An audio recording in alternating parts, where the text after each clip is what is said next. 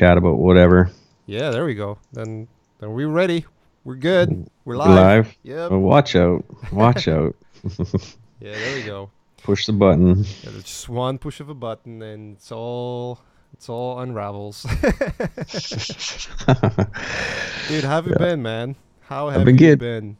I've been good. Been jug- just juggling a, a few small projects, a few small things. A few small like- things, just like getting yourself completely obliterated would work. Yeah, no, I've I got a bit of a break, but I'm just like now I'm like uh you know we're trying to build this um this new business and it's kind of it's moving quite quickly and then I've got um uh, some client projects that I was like I'm really excited about finishing, but you know just when you juggle a few things it gets a little Yeah. a little hairy, but it's all like it's all motivating, you know.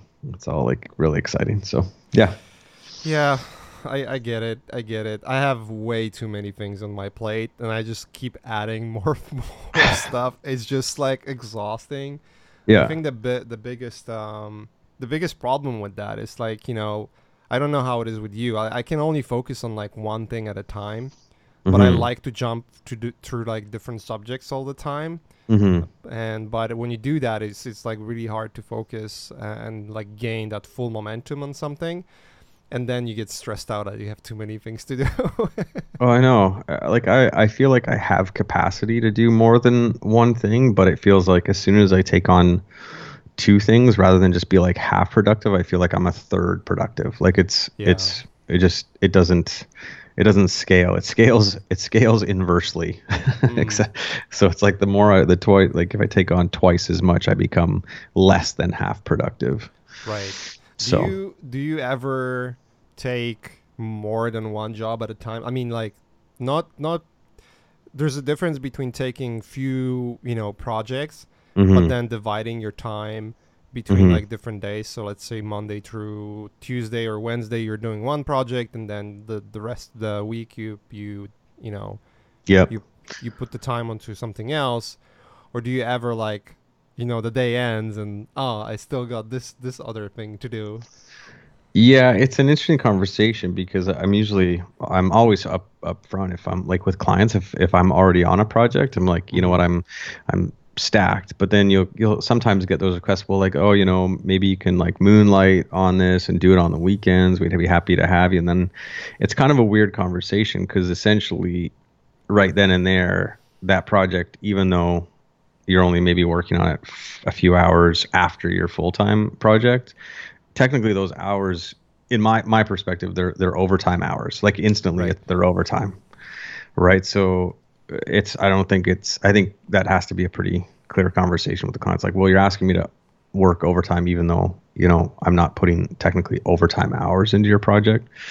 Um, and i don't know it's like when you a lot of my if you want to call them everydays are really just extensions of my client projects. So they're usually just like r&d right? So i'll i'll take a client project and i have that conversation too. It's like look i can spend eight hours a day on your project. Um, if i can just put some r&d stuff just as like my visual journal uh, throughout time and put put those as my everydays um, and usually they're pretty open because if not then i can only spend you know five or six hours but i'm still you know, usually I, I do kind of value based pricing. I don't always do, you know, day rates or anything like that. I just try and kind of scope out the project. But yeah, it's uh it's an interesting conversation. It's and it's pretty organic, but to again, like it's like you're juggling so much if if you if you just add that one more thing, you know. Yeah, it just becomes this thing where you f- you think you have time, and it might might just so work out that you will be Mhm. performing pretty well. But then the moment something happens, like something unpredictable, where let's say your your main client asks for like last minute changes that are pretty important, and you know they have to be done, Yeah. or you know something happens with the family, maybe you have to go you know to a doctor, or maybe you get sick. Exactly. Yeah, those are You have- like the moments. you have zero buffer, right? Like you have, you know, you're removing that little bit of buffer, and yeah, it can be pretty, pretty, pretty dicey. But um, yeah, it's, pretty I try, I, stressful.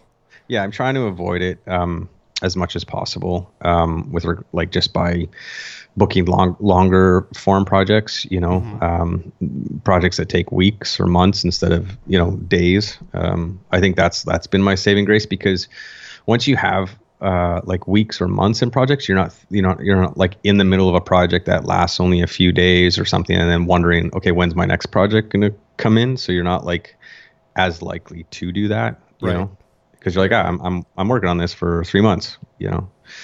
Um Yeah, But- to me, three months is short.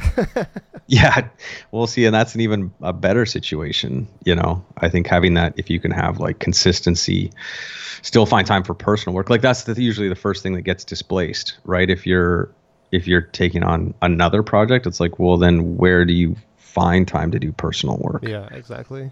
because usually like i don't i'm pretty sure for you personal work is like your full-time gig outside of your full-time gig Oh, I wish it was like that. You know, I mean, Yeah. it used to be like that pretty much past, I don't know, 15 years, but now I have a kid, you know, Yeah. I had a kid for past couple of years and it's, it's, when, when you, when you, when you become a father and, you know, it's, your kid is like few months old, it's a little different because they, all they do is just like shit and crawl and th- that's it, you know, and Yeah. eat. yeah totally But once they become more sen- Like a- sentient, you know, yeah then it becomes an issue because like, how are you going to explain to to that little kiddo that you have to work or like, hey, Yeah. you know what, daddy has like this personal thing that needs to work that he needs to work on, um, and that's why I'm not gonna play with you. And it's like, what is work? yeah and then they look at you and they're like what's more important than me and you're like oh god damn it you know it's it's not even that. It's just like it's complete lack of understanding. What the hell are you doing? You know, it's like Yeah. you don't want to play. What? yeah what's your problem yeah, what's your what's your issue, dude? yeah you like being a dad it's pretty pretty awesome i hear Yeah, yeah it can be challenging, dude. It I bet. can. yeah how's Um, how's the little guy uh, it's a girl. Oh, Um, right. Yeah, yeah. She's four already. right Believe it or not, time's flying like crazy. Um, It it's hmm. keeping you on your toes yeah, it's it's different. It's it's not like anything anyone else will tell you what it is like, you know, because it's just such a personal experience. Yeah. Um, I'll tell you this. I mean, it's it's sort of related to being a parent, but and it's not really related, not really related to parenting, but it's related to the experience of being a parent. Mhm. I have completely newfound appreciation to films that Right. involve kids. yeah yeah yeah Oh, it's like so different. You know, I was just recently watching, rewatching, um, Children of Men, okay yeah that that spoiler alert for all the assholes that haven't watched it since it was like what released in 2009. bunch of idiots um, that scene when they are walking out from from that building with the, with Oh, the child yeah, in hands, yeah, and like everyone just stops. It just makes you think about the whole scene in a completely different light. I remember watching it for the first time. I was like, "Oh, it's such a cool scene! Like, it, you know, it's so well shot, everything." But now it's just like, oh, like this moment where people see a kid for the first time, you know, and you kind of like, for for for for lack of a better word, you kind of relate to your own personal life a little better right uh, which is kind of interesting. It makes makes me makes me watch the films in like completely different way, you know. yeah Um, like a new lens on things exactly. I had the same experience with Interstellar, you know. Mm. Like Mm. you would you would I would talk with a friend that you know has have no kids, and I was like, oh, it was okay, you know. Like I liked the movie, it was good. Uh, I Mhm. didn't like the the parenting part; it was lame. It's like, dude, what are you talking about? It was so. it felt so genuine. what the fuck? yeah. Um, that's awesome so that gives you like a different lens. I guess that's the that's the the best way to describe it. You know.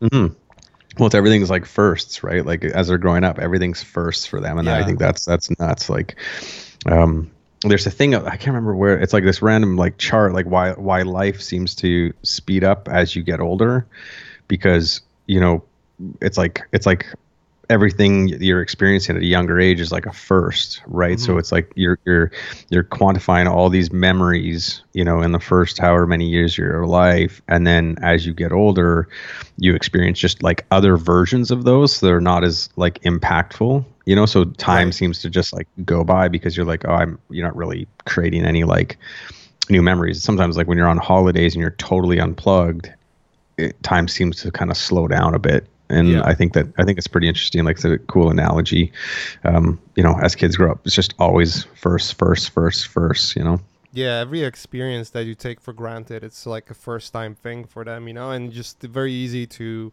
sort of dismiss that and, and not realize like how emotional they can be about simple things, you know? Yeah uh, yeah it's, it's kind of funny. It, Yeah. It, it really can be funny. it's how like they you- pick up sorry go ahead Yes, I when you mentioned like unplugging, because I like it immediately popped that question in my head. You know, like when you unplug, when you go to places, you you you mentioned uh, before we started, you were you just went to Hawaii, you know, just to completely relax. How do Yeah. you deal with this problem? And I don't know if you have that problem at all, but I do. so I'm curious if you do, and if you if if you do, then how do you deal with that? Which is the moment you unplug and you know, like I have time for myself. I don't have to do any work, and then you just start to stress out that you're lazy. The the, Mhm. mo- the the world is moving ahead of you, Mhm.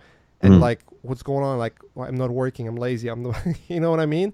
yeah It's like, do how you you ever fall get that feeling? Yeah, I think you know what's ironic is like I, I think it comes from when we were on the beach, like in Hawaii. I'm I, the only time that that ever occurred was when I kind of wasn't present to like where where I was at, and so Mhm. that'd be like when you flip on your phone and you see like oh man like someone's doing something really cool or someone else, you know. And I think that like that feeling of like oh man like I gotta keep up, I gotta be like stay relevant, I gotta you know I- that Mhm. kind of creeps up, but I never noticed it when I didn't have those distractions. When I really was like, it took, it always takes a couple of days, especially on holidays. It takes a few days for me to be like, okay, do I have any loose ends? You know, how, who's keeping the lights on? Um, it's kind of an interesting organic Mhm. segue into some of uh, maybe some of the other stuff we'll talk about today, but.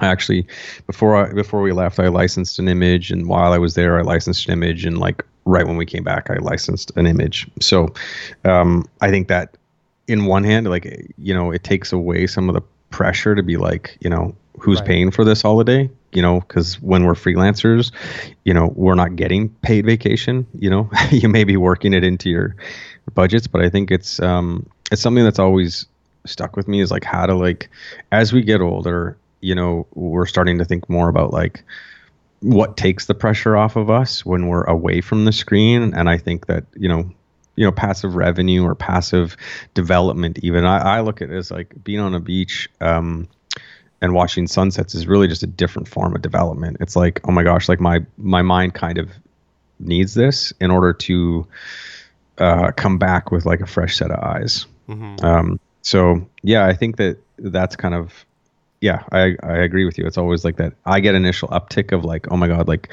yeah, but don't I need to don't I need to like do this? I should I should I should be like taking photos of something or I should be like and I'm like no, like it's just it's basically I'm elevating a different part of my life that maybe has taken a back seat to all the creative work. So I stop and try and uh, shift, you know, shift that way. Yeah. yeah. You you yeah, it was right on the button when you said passive income, you know, like once you have those uh, you know, revenue streams that sort of take care of the basic needs or at least like take away the full pressure on being always hired, being always, you know, performing to, you know, keep the lights on, that's where you can I guess unplug a little better, you know. Totally. Or or unless, you know, there's there's always uh there's always an option where you just work for a studio, you know, you're full time employee, and then you sort of like accrue accrue uh, your vacation time, and then you can take that time off without any pressure. That's that's a Mhm. possibility too. I remember when I was at Naughty Dog, I I had that luxury, you know, like I always knew that the days I'm taking off, uh, taking a taking a time off to go for a trip or something, those were the days that were already paid for and you know they were already worked for and i didn't have to stress about like oh am i missing out or anything or you know is there is there something happening is there a client waiting for something like all, all those all those worries were not there Mhm. um there's a trade-off. Obviously, you have to work full time, and you know your day always starts at the same time. You have zero flexibility on when you can go on vacations and whatnot. Just all sort of like project dependent as well. Mhm. Um, but I remember that specifically to be like way more easy versus now where you know I'm freelancing basically and running my own business and like doing all those all of those things all at once and it's just like there's just so much noise on the daily basis Mhm. that it just gets really really Ah. annoying once you like unplug and it's like ooh am i missing out like ooh should i be working on this maybe i should take a little time off during my time off I need time away from my time away. Well, yeah. Yeah. like I got I got it more when we came back. It was like, you know, it was a almost two and a half week trip where we went down to San Diego and then we flew out to Hawaii and then when I got back, it took me like four or five days to be like, I I think it actually for me it's more of um, it's more of, of an alignment on my principles and goals when I try and when I do get away. I can kind of Mhm. just like I don't have anything kind of like just always coming at me. So you'd be like, okay, like, um, you know, look up for a bit and where am I headed?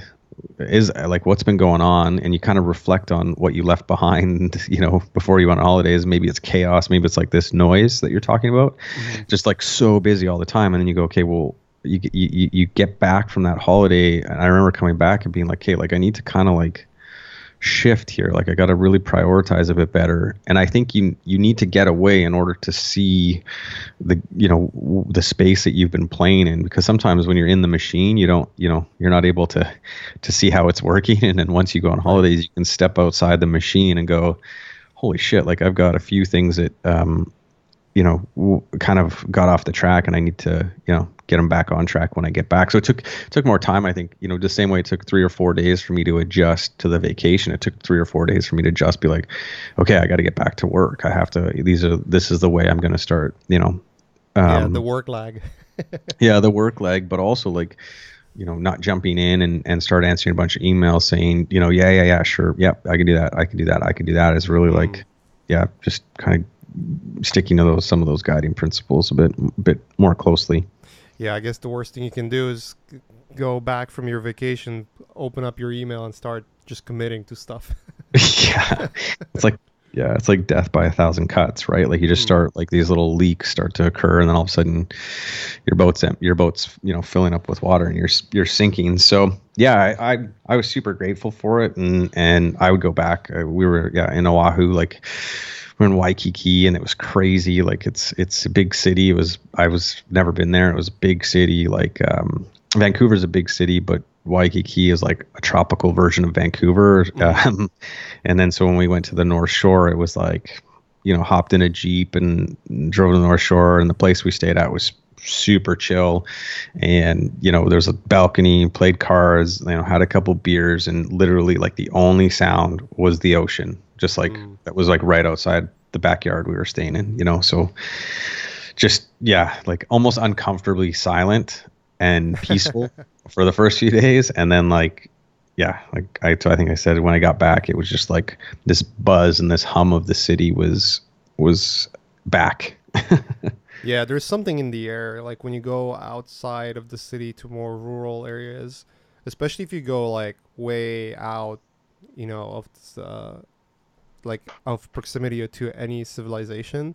Mhm. It's just like the, I don't know. There's something different about the air. Like not only is cleaner, obviously. You know, if you're in the city, it's you know it's smog and everything. Mhm. Um, I'm always curious if it's like all of the uh, you know wavelengths from your Wi-Fi and you know connections and all that stuff. It's, Yeah. it's, it's like if that's affecting the way we think and, and behave in general. Because like when you're, you know, when you when you when you go way out there to like a backcountry and and you go for a hike and there's like nothing but the wind it yeah, just feels so weird and eerie but also so beautiful at the same time you know? It's just Yeah. like a completely different experience. And like almost always and that's that's that's just me i always like would look up the phone and it's like oh no connection i'll be like stressing out a little bit. Yeah, yeah, yeah, but then Yeah. it's like eh whatever You yeah. know?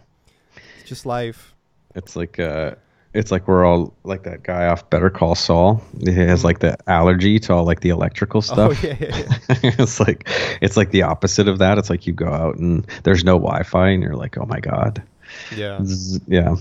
Yeah, no, I honestly like being in Vancouver. Uh, to be totally frank, you know, we we don't take enough advantage of what's around us. You know, um, but It's this summer, beautiful up there, right? Dude, have, it's like, one of the crazy beautiful. Snowy Yeah. mountains for, for skiing and everything. yeah, Whistler, Whistler's Yeah. massive, and then like you go interior BC, there's so many other places to go uh, snowboarding and skiing. But then there's like the ocean, like right there as well. So Yeah. it's yeah, it's you got the best of both worlds, and I think yeah, I just I watch it all from my home office. so the goal is to kind of get out and and uh, experience more of it. We got some uh, we got some family out in Victoria as well, so we get to kind of take those little like um, those little like two like the little seaplanes basically. They just take off from downtown, and yeah, they're pretty sweet. But that's a that's a nice little getaway as well. Nice. Yeah. So let's pedal back a little bit, and uh, Sure. you know we've been talking about about unplugging and you know your work and and your licensing. Like all of those are topics that we want to dive into a little deeper. But let's just maybe un- un- unravel this from like the very beginning, because there's there's a there's a very interesting story on how t- how it went f- for you, where you started to where you are right now, and I would I really want to want to focus on that, uh, if you don't mind. Yeah, for sure. Yeah. What do you want to know? Where it all started, dude. So let's let's start with like very simple, because like there has to be there had to be some anchor anchor point that made you want to do what you're doing, right? hmm Wh- what was that point? What was that moment for you? Yeah. Uh, well, my background's like in in visual communications, and and uh, you know I got a degree in like graphic design. Um, and I was I was older when I went back to school. Like I was working in the restaurant industry before, and like was planning on doing like restaurants and service industry for my like whole career. And Right. Uh, the, the restaurant that I was working at at the time, I was also uh, I was also actually DJing uh, on the side, which was a lot of fun, but um, it wasn't really sustainable. Um, but while I was doing those two things, I was playing around with Photoshop and you know learning Illustrator, and we were designing our own like club flyers, and you know uh, the restaurant heard of this, and they said, "Oh, you know, we're doing some stuff. Maybe you can help out with that." Excuse me. And so uh, I started designing like menu inserts and like all this stuff that was like super kind of boring. And I said, and the company was growing, and I said, look, like if the company's growing, like why don't I actually like just take on this job as like more of like you know maybe a more of a creative direction, at least try and like inject some cool things into our. And they were like, you know, that's fine and dandy, like, but we really just need you to be a restaurant manager. Like that's like, and I'm like, and at the same time, you still want me to do this on the side? And they're like, yeah. I'm like, okay. And it was kind of at that point where I was just like, I'm going back to school. Like, I, I love doing this stuff to the point where um, I would decided to like enroll myself into a four year program. You know, being a 20 something year old and and not having a you know a ton of cash, but just working in the service industry. So uh, I went through that, took out a student loan, and it wasn't too crazy, but um, I was one of the older students in the class, and you know I did pretty well. It was a real challenge because I thought I knew a lot, and you know when they take you back to like foundational mixing paints and mixing colors and like doing all the stuff i'm like what the hell? I thought we were just going to learn more photoshop you know? And they're like you know i did um, drawing classes and the stuff that i really really struggled with at the beginning.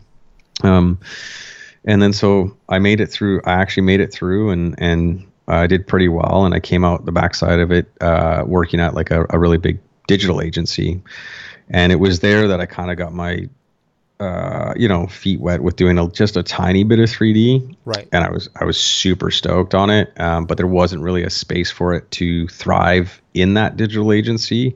Um, even though I was trying to like pigeonhole, like, well, maybe we should do it in 3D, or maybe we should do it in 3D, but it just it it didn't fit all all the time, right? So, um, and I wasn't that good. And I think at that point, you know, I realized that uh, I either had to like again shed what I call is like shed the layers of comfort and like go out on my own. So I went out on my own thinking that I would just be able to like pick up a bunch of 3D jobs or, you know, CGI stuff. And being in Calgary, there wasn't a whole market for it. Calgary's like a oil and gas town. So I think unless right. I was going to do uh, explainer videos or something in 3D and After Effects, it wasn't really going to work. Um, so I kind of fell back to my traditional design roots and got back into like typography and like uh, did a bunch of um, uh, ironically because I'd worked in the service industry, I did like some branding, like these bigger bigger branding projects, like full. If you go back in my portfolio too, even on my firm portfolio, I've, I've kept a, a couple of them in there because they were.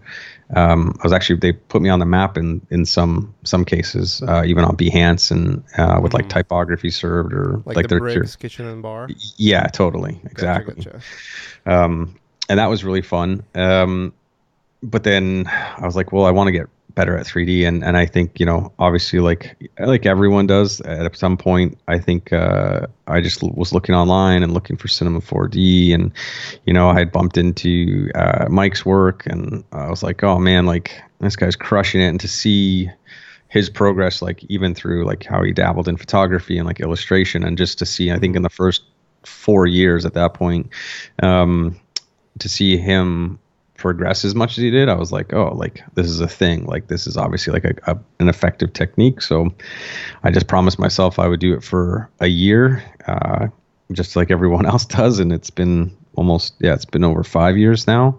Um, We're but yeah, about I, Michael Wrigley, by the way.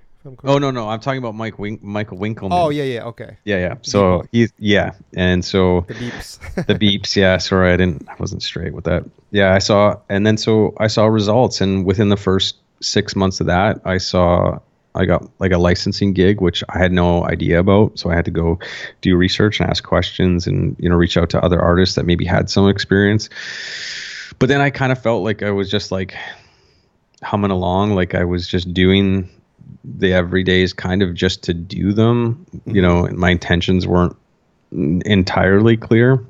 Um, and especially as social media picked up, I think it was easy to to look around and be like, well, maybe I should be doing this, or maybe I should be doing more of this. And what I realized, it's like, yeah, I got really busy with client work, so my everydays became more of a like I said, like an R and D, like a visual journal, so that when someone needs something, I can go back, or even when um, companies are curating or agencies are curating like a mood board, or they want to expedite their process, I can say here, you know, here's what I'm suggesting. Here's some of the aesthetics that I've made, or here's some of the techniques.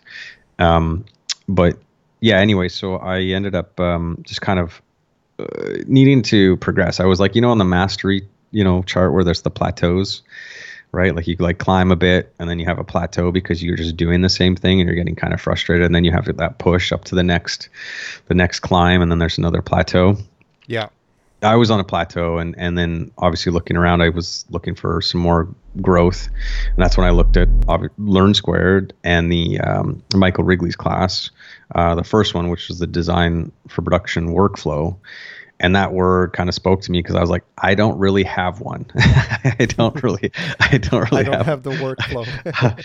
I can do the work, but I didn't really have think I, ha- I thought that I had a work the workflow, so I um mm-hmm. I jumped yeah, I right have, in. I have it open on my screen right now for for people to actually see it. Whoever's watching the watching it live or later on on YouTube.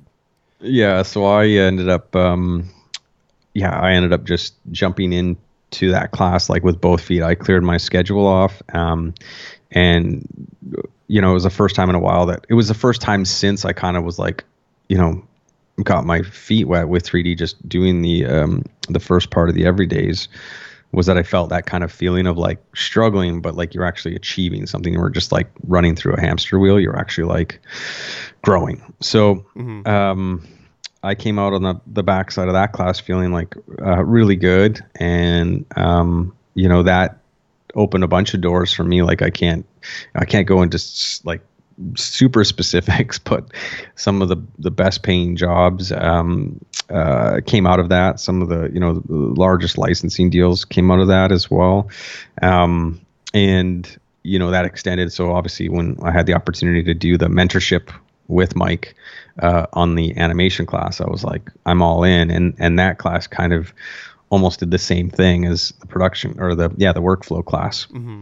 So yeah, I think that's kind of where, if we look at where I'm at now, I have more of that workflow, and I've continued to kind of develop that workflow and try and try to look at, you know, I think a lot of things have changed even since those classes came out in our space of like tools and assets. And you look Right. at like, you look at things like Substance and you look at things like Quixel and you see all the, you know, KitBash and all these, you know, tools and assets and, and all knowledge that are, you know, really creating a space where it's competitive, which I think is awesome, which will force the cream to rise to the top.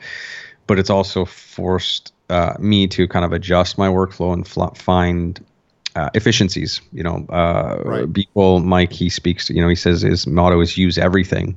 You know, and I think that's that's a that's a huge, you know, a huge um, asset. I guess is is a way to find authentic ways. Unless a client's going to tell you that they want something super super specific, but it does take away a little bit of the technical learning and it allow sometimes allows some more like hey i can actually come up with a concept and i'm not buried you know in modeling a screw for this piece of wood or something so Right. yeah yeah so i just I, I think that i've continued to try and find efficiencies in the in the program uh, in in cinema 4d and um, the the next kind of like it was honestly one of the best uh, opportunities I had was doing the R20 uh, like the Cinema 4D R20 key visuals that was like you know that was just a milestone for me to be able to like to, to give to, to develop you know creative work for the company and the software that has like empowered me f- for the last six years you know Right. Uh, Do you have that in your portfolio somewhere? No i don't R20? ironically enough yeah no i don't I was trying to find it, but yeah. if you guys aren't sure what it is, just fire up Cinema 4D and it's yeah, it pops up and um, yeah, I think that was a really uh, wonderful opportunity. Um, and so yeah, that's kind of where I'm at now. Yeah, it's. I remember you were you were taking the apprenticeship with with Michael, and that went pretty well. You know, like remember seeing the progress was pretty cool. That class is so good. I mean, I've I've I remember watching the class myself a couple of times. Uh, I'm not into like Cinema 4D specifically, but one of the things that Michael like, like explained so well that I use till today is the way he go, he goes about you know folder structures and naming conventions. It's just like, dude, you just solved all my problems. yeah, I know.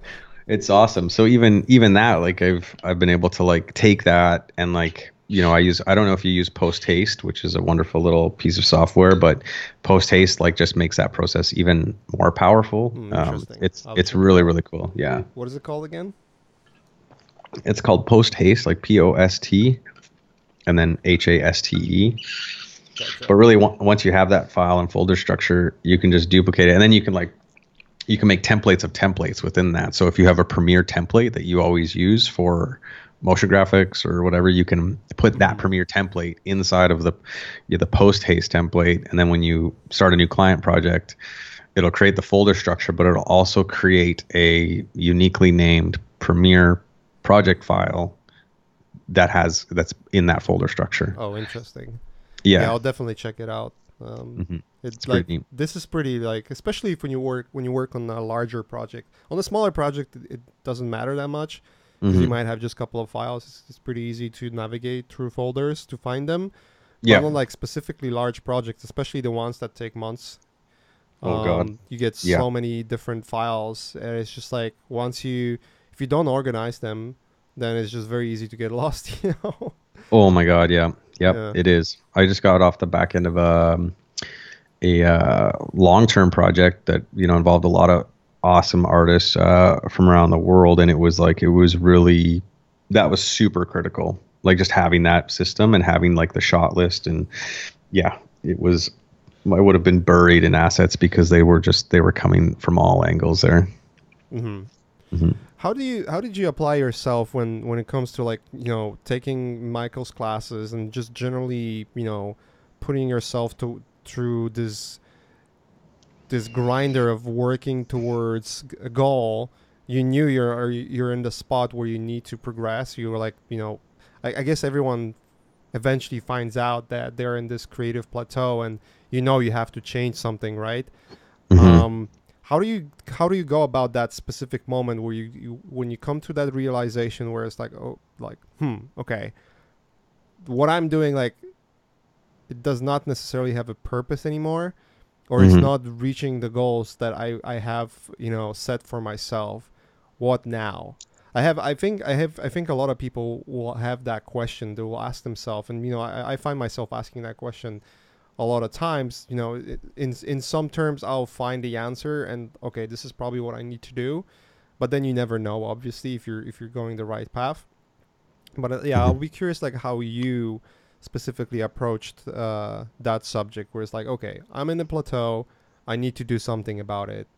What Mhm. what what now? You know? Yeah, I think it's like every like at the back of your mind, you know what you ought to do, right? Like there's this like you know what's Right. going to take you to the next level. Uh, but there's this blind spot I think that's that you don't see is actually like counter like countering that that like it's a basically a, in my head it's like a blind spot that I can't hear it talking or I can't see what it's doing but it's it's arguing with that thing that I know I ought to do.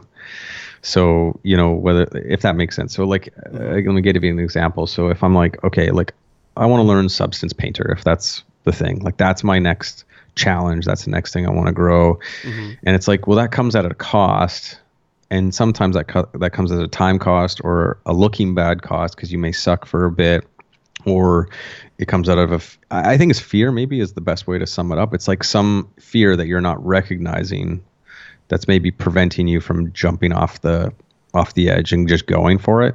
Like it's the fear of i think the fear of many things. Like like for me sometimes it's just for the fear of looking bad you know yeah if I i'm think totally honest. that fear. Yeah and i think what i think the if i was to look uh, give the example of of the class i was more fearful about looking bad by not finishing it than i was fearful of sucking.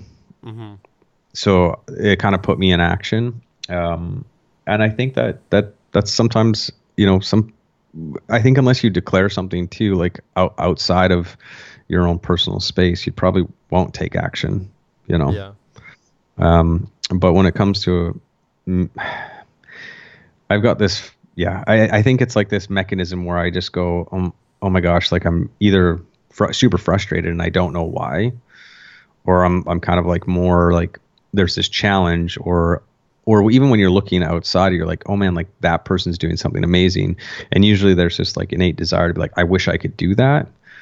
But that comes from a place of ego, right? So you're like, well, Yeah. is, is that the thing that I even want to do, or do I just want to do that because I see like how good it is because they did it? And and I think that's you kind of like that's why I use the word principles. It's like, well, what are your principles? What how do you want to how do you want to grow? Where you're going? and What's what is honestly like if you turned everything off and went back to the beach, let's call it, what do you want to do? And then ideally, maybe you share that with people outside of just people you're comfortable with. Whether like that's uh, Mike Beeple, he you know that's why he puts it on on on Instagram or on whatever. He puts it out there so that it triggers like this. You're you're not gonna um you're not gonna put something shitty out to the world, or you're gonna at least try not to. But if you keep it internally, then you're likely to be like, uh, and you'll probably compromise your own arguments and say, well, maybe I'll put this out tomorrow. And then tomorrow turns into a week later. And then a week later, you know, you're back to doing all your old bad habits. Yeah, yeah, like stopping yourself from actually, you know, making that first step, which is the the, the most important one, and it's just like your ego gets in the way because you think I always have to deliver. Well, like because I saw someone doing it on the highest level, if I don't do something that is at least comparable, then I failed, you know. But you didn't. You you Mhm. actually took the first, the most important step, which is actually starting and Mhm. doing and doing it and then recognizing that it's it's it's not perfect it's not might be it might actually suck but you will never get better if you don't you know expose yourself to that critique and, and show it first and then try to improve it you know Mhm. every every day so Yeah, and I think it's like it's going to take time. You know, it's a, it's going to take time, and I think the the whole um, the whole thing is like uh, sometimes artists be like, "Okay, I want to I want to do this. I want to I want to master." Substance or I want to master, you know, a tool or or learn this technique and and and make this thing. But that takes time and I feel like that's like if you maybe put some parameters like this is going to take 6 months. Mm-hmm. This is going to take 6 months before I even start. The problem is they're looking at, you know, and I do it too. I'm looking at something that uh, an artist who has probably spent years crafting that that thing, not not that specific thing, that, but over time he's learned to craft it that way, that aesthetic or that tool or that software. But you're sitting there going, okay, I want to do that, but you have no, you can't quantify the word that. What is it that they did? You don't know. Yeah, you see the the picture and you're trying to digest what what you're ex- exactly looking at. What is it built off? You know, is there any plugins that they're using specifically to make it like it looks beautiful? Should I make it by hand? Try try different things. it's just so easy to get lost, you know. Yeah, and and to try and quantify exactly the path that they went down is going to be nearly impossible. And even if you're trying to achieve what they're doing, it's probably going to take, uh, you know, it would take a person an entirely down a different path entirely. Yeah. Yeah. Everyone's got their own little journey. There's so many talented artists out there, and I think the most talented ones, um, uh, maybe are the ones that haven't that that are they're not dabbling like they they they're kind of on track you know and and they're willing to like see the new shiny thing you know and mm-hmm. and let it go you know and see the next shiny thing or something different and like let that go and then just kind of hold the course a little bit. You know they're always developing but they're they've got their kind of thing. And i think that's where you start to see that thing grow and evolve in its own form rather than the, the the core thing always changing. Yeah. yeah. Right. You know, like it's like, oh, I need to go learn, you know, this software, and now, okay, now I've I I tried that, I don't really like it. Maybe I need to go uh, learn this software. So it's like it is in that mastery book again. It, it's just like you get all excited, but you can't maintain that excitement over the course of time. Yeah, I wonder if it's um, it's it's it's kind of interesting that that part specifically, like maintaining excitement about something.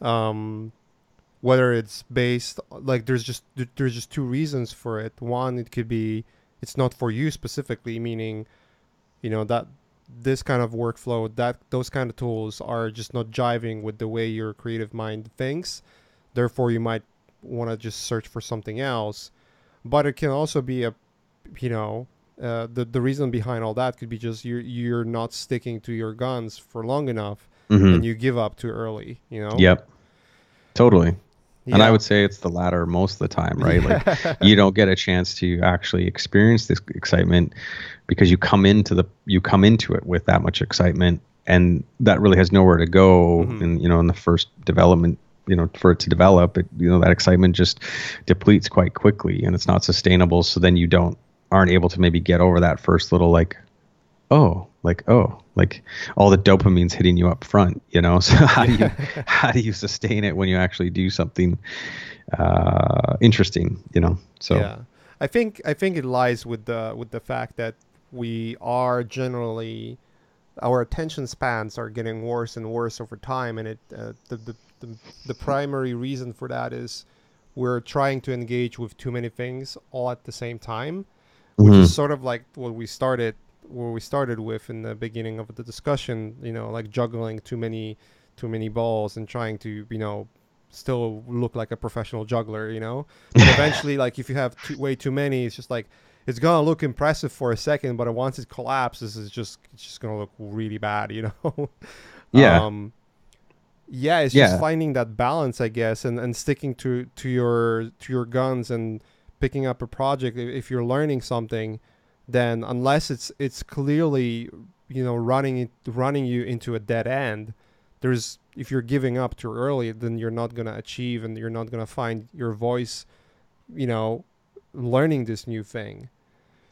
Yeah i think that's one of like I, i've that's one of the most important um factors when i look at requests come in is to check myself at the front door a bit and be like rather than be like yeah i can do i can do anything you know i can do this like i think it's that can get kind of if you tr- have that mentality going into a client project that's that is already questionable, um, you're not doing, I think, anyone any favors. Like there, Mhm. there needs to be time if if you don't know that skill set, you know, or if I don't know that skill set, I look at it. I'm like, do I have time to learn this? A, and then B, do I even want to learn this? Is this thing that I'm going to learn for this client project something that I I, I was intending on learning anyways? Right. because if it's not then you're adding like it's like a you know a mechanic you're adding an electrician's toolkit to a mechanic's toolkit and that just makes no sense like why are you compiling tools that you're not going to use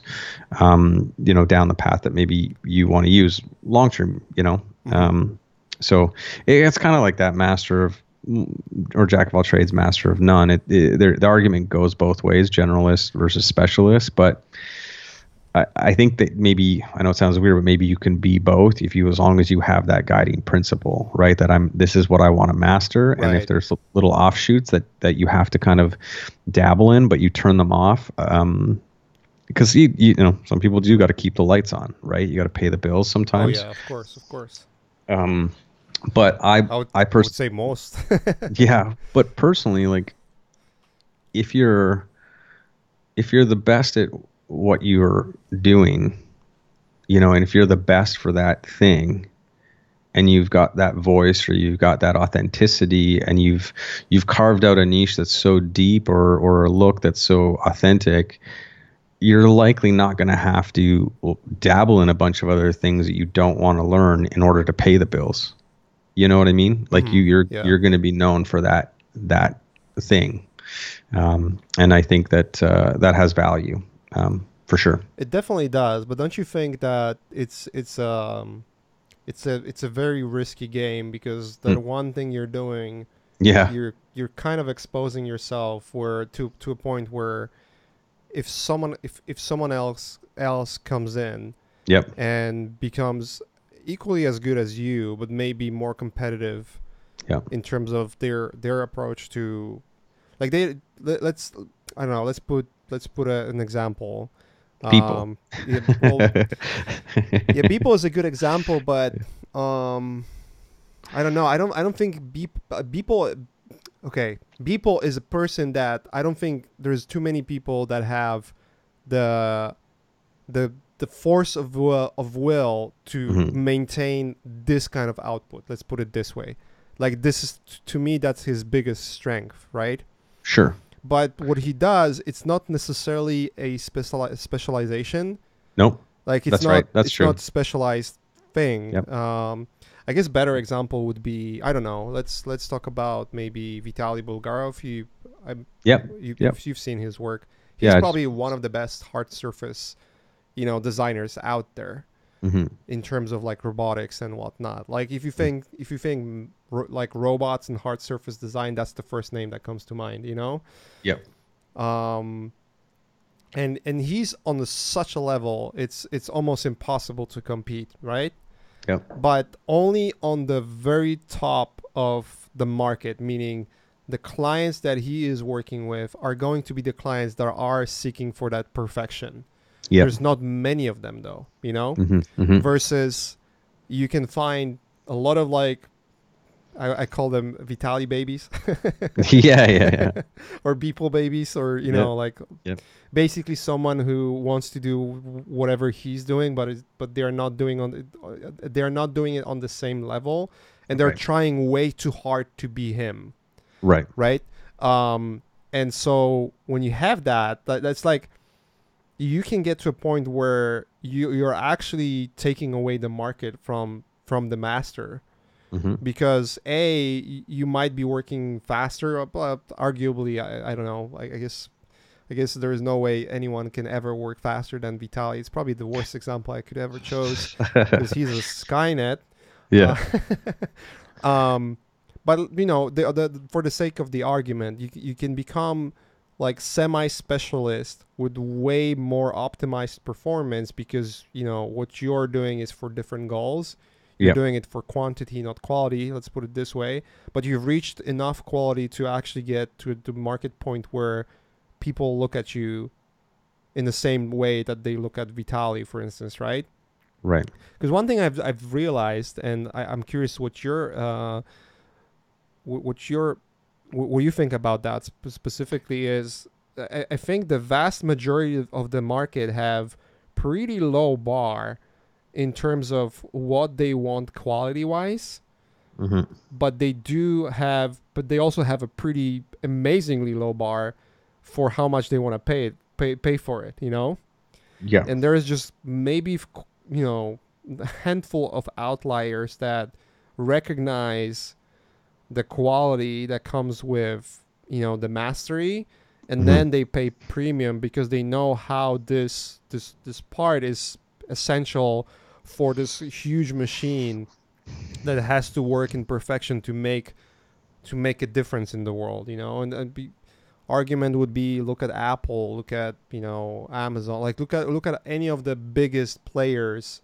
hmm in the market and how they approach how important for them it is to have the best people working on it you know hmm uh, i'm curious what you think about that you know like the fact that the market is like their bar is pretty low because I, I Mhm. think it, it, it is Yeah, I agree. I think that um, your analogy about like the you know Vitaly babies or the uh, Beeple clones, um, uh, you know, when you talk about the the the re- I think the word is like resilience, right? Like probably the resilience and development and growth that you know Mike or Vitaly or guys that just stick through it. Um, they the, what they experience is almost like a level of professionalism um, and mastery that maybe any one of those other um, knockoffs or emulators, let's call them, Mhm. you know, uh, they may not, they, they just haven't experienced that, right? They've seen something and then they've just done that thing. Whereas the masters had to go, what is the thing that I wanted to do? And I think that they'll always go the distance, whereas the emulators will start to get picked off by other emulators, you know? And um, in terms of evolution, when the time comes to evolve, I believe that the you know the uh, the Vitalys and the Mikes will find a way to evolve. You see it in Mike's work Yeah, already, sure, right? sure. You see it. He's he's he's just you know growing and finding smart ways to work and um, That's actually a you good know- point. You- You were mentioning that, you know, because they've reached that mastery, they know the road that they have to go with to evolve and change, and they will recognize when the change is necessary much quicker than anyone else. yeah, like they're ready to leave it behind. You know, Yeah. whereas the the emulators are like they're chasing that work that's already been maybe the market's already absorbed and gotten tired of, hmm right? Yeah, So they're makes sense. yeah so i think that you know uh I, I, I- yeah i just believe that the masters will go the distance whereas if you don't have if you maybe you don't have that um experience that you might not or or or that desire to find that that voice or or to or to solve interesting problems that are your own um i think that uh, you you might get lost in, in in that in the in the the pool that is is is yeah is just trying to still find their own voice Yeah, yeah, I agree. There's something about there's something to, to be said about that. You know, like going to distance and actually trying to explore, finding your voice, working working really hard towards becoming yourself in terms of you know not only just getting good at something and and finding if if that's the right software, sticking sticking your guns and uh, you know staying long enough to actually recognize if it's helping you or not but then also uh, you know pursuing that mastery.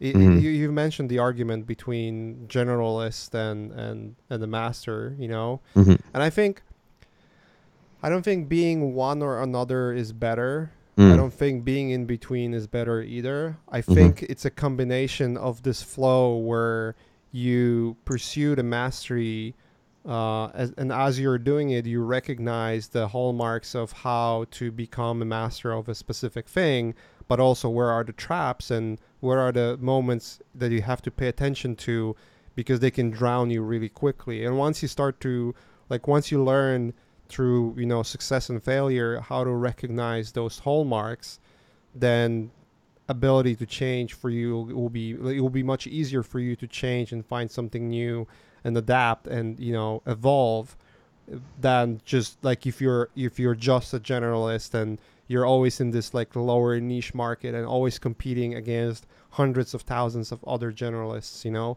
Or if you're just a master of one thing, but you never adapted to change and, you know, there might be a software, hardware, or another person who is more efficient than you that comes in and just literally, you know, swipe you swipe you off the the surface of, of the market, you know? Right. Yeah. Yeah. That makes Yeah. sense.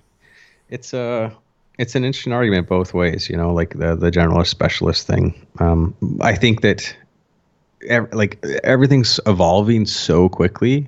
Yeah. It's kind Um, of insane. actually. yeah, it's like how do you how do you even become a specialist in, in some like you I think we talk about this I think about like ideas, good ideas will trump everything and I believe that. I think that it's like a I've always my analogy has always been like 5149 like yes, good ideas are um are great.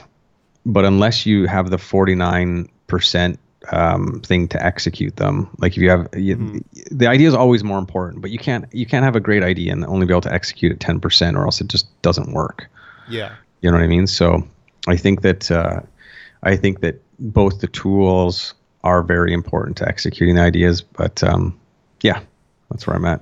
Yeah, the idea has to be executed in a way that people actually can understand it, you know? So it's not Mhm. just words, unless it's like a script. Guess that's different. But if you're if you're a visual person and you have a great idea, but your tools and craft are not are not good enough to express that idea, then yeah, you you, you might be failing fa- failing. Yeah, it's like if you present a client like a great idea, right? And you're like, I've got this great idea, and you, you know, uh, you run into. I run into it sometimes. You do a sketch, and and they think that it's a good idea, but then when you go to execute it visually, it, sometimes it doesn't fill that gap because you're not a master Yeah. in that Mhm. space. So, while it was a good idea, if it's not executed well, then Yeah, that Great. can happen a lot where you sketch something like shit, this is so good, and then you start like chiseling all the details. It's like, oh, it's it's losing that effect, you know, it had in the first place. Like, ah, what's yeah, going on? I hate that. It happens to everyone, you know, yeah, absolutely. but it's it's it's, it's definitely yeah. Once you get once you get better at it, it's it's much easier to control. hmm Um, you mentioned something in the, um, I guess it would be a good segue. You, Yep. When you mentioned, you know, we we're talking about your trip to Hawaii and you know unplugging and and having those elements that kind of work for you, and you know, so that you don't have to always be grinding and always be thinking about, okay, what's the next thing I have to latch on in order to survive? You know, pay the bills, keep the lights on and there was there was an interesting topic that you've mentioned and, and you know people in the chat asked like what what what what is this Yeah, um and it's about licensing and i know we we have uh, a pretty interesting topic when it comes to that because there's more to it not not just licensing but you have something else in plans right Yeah, yeah, we've been. It's been a couple years. Um, it, like just for me, like a problem that I've been trying to solve. I've, I've really like. I've had these experiences of licensing my personal work, work that I never. yeah let's get, get get into that first like yeah, how how does it usually works for you i mean i i understand the process more or less uh uh, myself, but someone who's listening might be just like, "What are you talking about? Like licensing images? Like, how does it work?" yeah. Well, the I guess the short of it is, if someone needs to use your stuff to to, you know, if they just if people need to use your work for something, um, it's got value, and at that point, no matter if it's personal work or, you know, something that you've spent months on or a day on, it has value to them. Mhm. So having an understanding based off, you know, determining how much value is some, t- sometimes pretty subjective, but You um, mean something more than free? yeah, exactly. Something Uh, more that can be paid with exposures? yeah, more exposure, more exposure bucks. I tried to take some exposure bucks over to Starbucks, and they they wouldn't accept that yeah, either. exactly. Like how I went to grocery store and was like, "Here's my five exposure bucks. Can I pay for my groceries?" Like, no. Yeah, no. um, but yeah, it's a it was something that uh, I just over time started to experience more and more of and tried to get a better understanding of it. And I have some experience going through my degree with photography. Like I minored in photography. Mm-hmm. So, you know, I think photography is a better a better space that's been more established over time, you know, to kind of find those benchmarks and pricing approaches when it comes to licensing, but it's no different. It's no different at all. It's just yeah. I think that our our work to some extent, you know, when it comes to CGI and stuff has far more flexibility and value and and that should be recognized, you know, so just, you know, it's easy to come up with nicer images for sure, but there's more flexibility in it, you know. Mm-hmm. So yeah, I I've over time have tried to solve uh, the issue for myself. Um, how can I eliminate? How can I eliminate the constant um, uh, kind of back and forth uh, with licensing requests? How can I mitigate um, uh, what I call as junk license requests, where it's just like you know they're expecting something for nothing, uh, and you know is is it a problem that that other artists are experiencing. And um, throughout the last few years, I've uh, tried to establish my own kind of um, ground rules for licensing, and I've built out like spreadsheets so that I don't have to think about my pricing. And I've built out, mm-hmm. you know, uh, licensing structures and and legal, you know, uh, contracts and stuff like that to protect myself and the client. Um, but it's you know, I've even gone as far as setting up like a licensing category on my Shopify site. um, but it doesn't really work, right? Because clients, they don't, you know, they're not going there to license my work. It's usually they see it and then they just want to contact me. Mm-hmm. Um, so yeah, I've been trying to solve this problem and, and I was contacted by, you know, a number of, uh, larger companies, uh, over the years to basically take, uh, you know, my volume of work and put it on platforms that uh, were were not were known, but when I you know when I do the research and you look at you know it, they just were not very great platforms. You know, they were the big ones um, that have millions and millions of assets, which are really, you know, low quality. And there's mm-hmm. no, there's no, there was no space for me to really feel like, okay, like my work's going to be mixed in with all of this kind of garbage, let's call it, um, or just you know noise. stuff that was noise. Yeah total noise. Um, and the payouts were really really really low. You know you can google payouts for if you want to call them stock companies but they were really really terrible. And then i started to kind of think about it and i was like oh you know like maybe there's a space for this. Um, and so yeah, I started talking to some other artists, and over the last few years, like it was even like as far as like I think uh, SIGGRAPH in Vancouver a couple years ago, I just kind of had my ear to the to the to the floor a bit and just wondering like, hey, like you know, what are artists saying about licensing? What are they charging? Do they know? What are their frustrations? And there was a ton of um, there was a ton of little golden nuggets throughout the years that I was like, I think I think this is something that you know I should explore. And so I started kind of uh, toying around with the idea of building a space where artists who have put the time and energy into to develop their craft and for myself to have a space for this work that I'm making um, not all of it you know some mm-hmm. of it um, to to remove that pain point right like just remove all that stuff so that they feel supported and confident that there's a platform where they can go and put their stuff um, and yeah, and then not have to go through all the shit that I went through, ideally. um, and yeah, and it's and it's and it's happening, which is crazy. Um, it's a lot of work. Like you asked me, like how many how am I spinning plates? I'm like that's a that's a constantly spinning plate right now. Um, it takes a lot of work, and it's but it's super motivating, man. I can't tell you how much when I speak to artists um, from around the world that are interested in this thing. Um, when I just talk to them about like what they're experiencing, uh, you know, the challenges that they have, what they're interested in, you get every, like every, um, you get a whole gamut of responses and problems. Some artists just didn't even know it was a thing.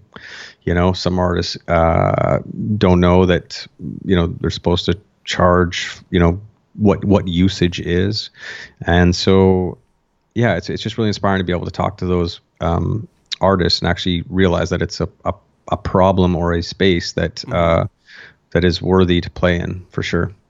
So, yeah, let's plug it in. It's uh, Avant, Avant Form, yeah. Yeah, Avant Form, uh, which basically just represents a new form of medium. It's a it's a new form of licensing. It's a new form of of digital. Um, you know, you know, we're doing everything from really established 2D artists uh, and illustrators and concept artists, uh, all the way to like 3D. Some names here.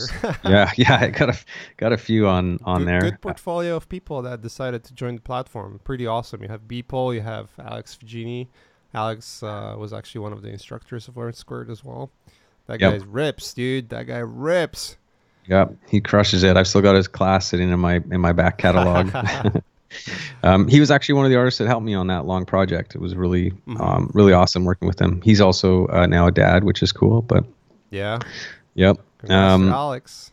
Yep, and so yeah, and trying not to like pigeonhole um, what digital creators are, and just kind of opening this up to to um, everyone to apply and then really you know kind of kind of curating a site that gives every artist you know a space to play in um, gives their own corner, you know, to to to thrive. And the thing about it is, is like you can get these requests from other companies that, um, you know, I don't know who's you know building them or anything like that. But the fact is, is like this is a platform that I really want to thrive on as an artist. So it's got some really nice checks and balances in it, right? Because mm-hmm. you know it, it can't thrive unless the artists thrive, and I can't thrive. On, you know what I mean? Like so, it's really nice and organic that way and it's not really you know it's not a difficult conversation you know we are you know doing a lot of interesting things you know i can't get too far into the the, the nitty gritty of all the details but we're doing some real yeah we're doing some really really interesting things um, to give artists you know the most back out of out of what this uh, platform is doing yeah. You know, not we're not looking to be like the Uber of licensing. you want to be know? Lyft of licensing. yeah. Um, but I've really been able to, you know, have good conversations with the guys and girls that are are, are behind this, um, and it's uh, it's gaining a ton of ton of steam. Like it's gaining a ton of momentum. We just put this site out, I think, just a, maybe a month ago, um, and you know we've had hundreds of applications. We're working really hard to get through all of them. It's actually just me going through and trying to figure out you know talk to you know our small By team we, you mean you. Yeah and just I know how it works yeah and like i said it's the ship pulling up to the port right like yeah. it's like um but there are a ton of artists you know i think that i really want to um support and also give the opportunity and just like just be in touch with um, because yeah i think it's a really you know there's so much when i the reason i thought of this is that there's so much there's so much out there in terms of knowledge right so there's yeah. so much knowledge is so much more accessible you know um, uh, tools and assets are so much more accessible right so people are artists are just creating these magnificent things without being able to like you know they're just creating tons of beautiful personal work that sig- has significant value if yeah. someone decides to use it right so the thing that we don't have um, is a space where actually where this stuff can go and you can feel confident that you're not going to get you know dicked around by a client or dicked around by some place that wants to use your work for free. Yeah um, that's the worst part about it you know like the the inability or like lack of transparency and it, it became i mean it's not like i want to blame the industry for it personally but it's just like you know um, it's very difficult to find that information because people who are actually taking advantage of the fact that you know being not well taking advantage of a pretty simple principle don't don't fucking work for free ever yeah. don't do it for free for anyone unless ever. it's unless it's your grandma uh, yeah unless you know it's a little different when you when you work with family work when you do fun stuff with family or if you if you start projects uh, that you do with friends for fun like that's that's obviously a, a little different thing. Mm-hmm. but it's it's it's kind of surprising uh, that people just don't realize that and they still work for free or they undervalue the work that they do so dramatically. It's it's it's insane you know? It's just like this ever never ending you know downward spiral that that just makes the art to be a commodity mm-hmm. and then everyone is outraged like i'm an artist you know i'm doing creative work i'm, I'm working my ass off 24 7 you know it's it's if you want to be really good at it, you're not going to be working eight hours a day. That's not enough to become really good at, at the craft. Um, you're going to pour your soul in. You're going to, you're going to, you know, say no to friends a lot. Don't go, like, you will never go out, or not never, but you will rarely go out and just work your ass off to get to, to a point and then at the end of it what you see is is a client saying hey i'll pay you an exposure. It's so brutal. It's just like what? Well and and the other you? yeah. Well and the other part of it is um there is so much content right? And in the space that people are you know and artists are looking and and you know maybe you know like guys like Vitaly and and Mike they're not they're not looking there for guidance or inspiration. Like when we talk mm-hmm. masters right they're not getting distracted by it. They're leveraging you know kind of maybe some inspiration. We all looking for you know inspiration somewhere. But I think it's one thing to look for inspiration on a platform like Facebook or Instagram or Pinterest or anything like that. But the issue is is when when it becomes that you're looking for inspiration and then it becomes emulation and then you're just everyone's emulating other people. And you know now you've got a ton of content that you know the masters are doing well or the ones that have found their voice are doing really really well. But then the artists that are maybe not doing too well are you know you're just getting lost in a sea of content. Yeah. And it becomes I'm I'm interested because then it seems like it comes a popularity contest rather than artists that are actually looking to be successful as professionals and be paid for their craft. Like You that's the to amount me, of likes on facebook and instagram yeah, like if that matters yeah. But but to to in this day and age, it seems to matter. You know, in the form of online communities and online this. It's like these the, the smart ones are leveraging content, right? Like if you look at Instagram, there's so many communities, and uh, there's just this way that the content becomes consumed, but it doesn't benefit the artist. you mean what- the profiles that basically take your photo and just tag you if they if they even do that Sure. like yeah. follow us not this guy Yeah, well, it's like it becomes it becomes curated, but what is the true um, what is the true value to the the person whose work is being Yeah, that's why Exploited. I never do it. Like I never, Yeah. I get those invites all the time. Like, hey, we're starting this new platform that you know Yeah. will expose the work to the world. Like, dude, I don't need that. Like, Yeah. honestly, you're you're taking my work and you're using it for your own, your own benefit because obviously you're you're trying to start a business. And I, you know, I get Yeah. that, but it's just like, well, which is exact. The yeah. irony is, is the irony is, is that's exactly what I'm trying to do.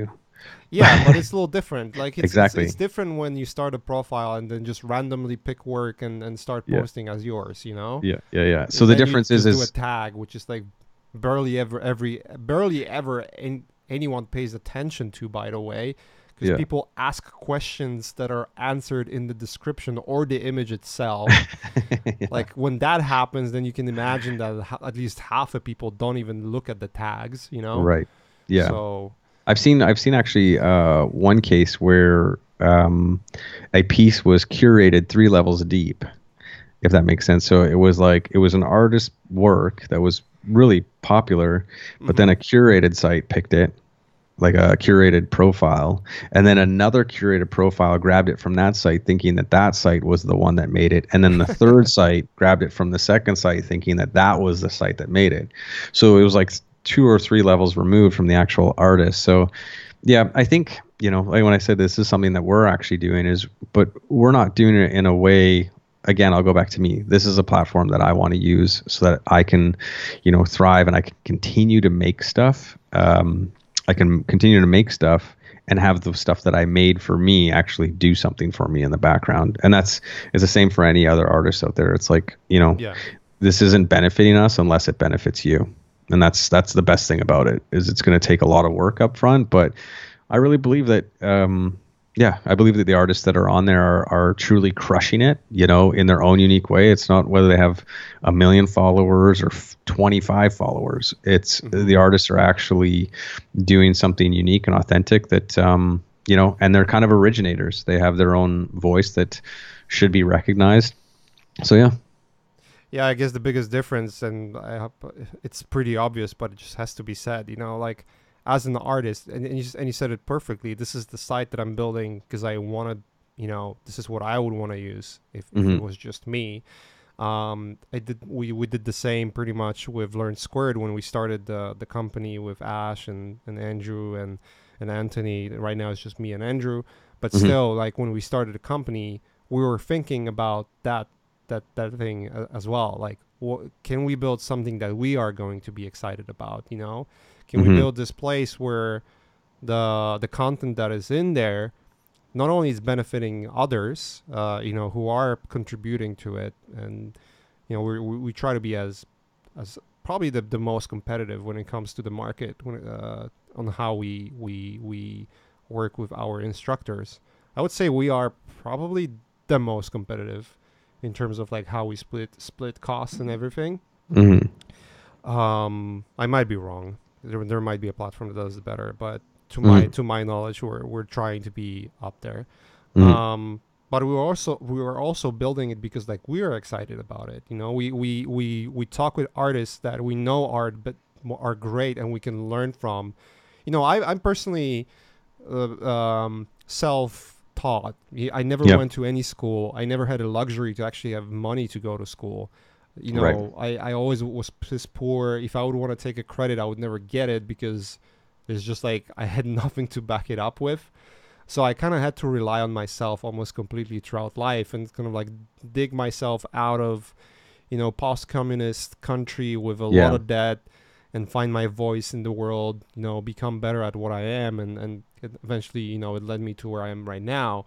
Mhm. And I know there's a ton of people that are, are in the exact same spot and they Mhm. it's so easy to find content. Like don't get me wrong, like if you want to it's, it's the same goes to your your platform like hey if you want to license someone else's work right if there's a client who want to license the work they can find it everywhere Mhm. but the difference is this it's like there's so much content out there right now like it Mhm. used to be that you would find content sporadically and then if it was a good content then it would really stand out right yeah. but now there's just so much stuff out there. There's just so Yeah. much.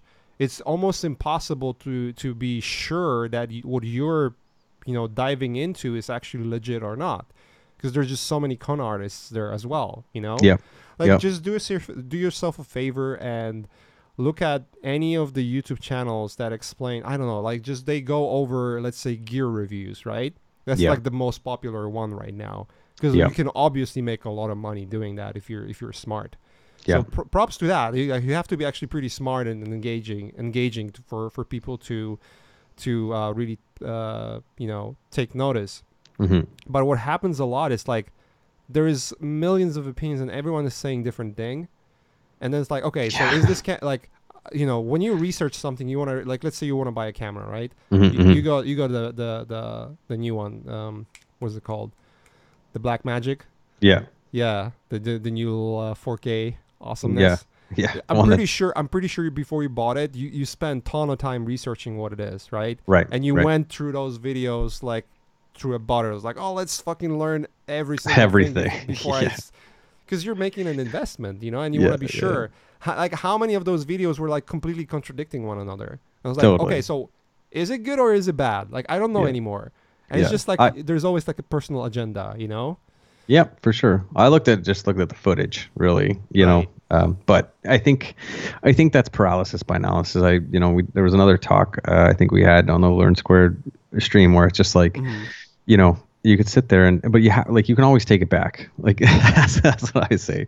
You Right. can always just take it back. You're not locked into that thing. Like try, like you can give it a try. Maybe you can, you know, swap it out for something else. But I don't know. It's just I, I've learned that not ev- every tool that you have is going to solve every problem that you have for Right. that specific thing. So you have to like prioritize what are like the top four priorities. If I'm buying a TV, if I'm buying a tool, if I'm using software, Mhm. like what are the f- top maybe three or four things because nothing's going to check off all the boxes, Yeah.